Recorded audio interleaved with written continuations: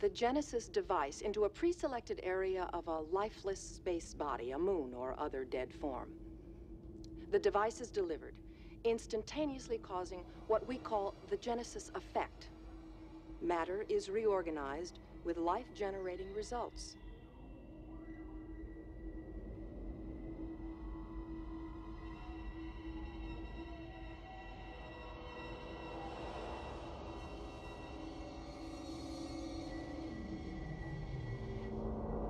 Instead of a dead moon, a living, breathing planet capable of sustaining whatever life forms we see fit to deposit on it. Fascinating.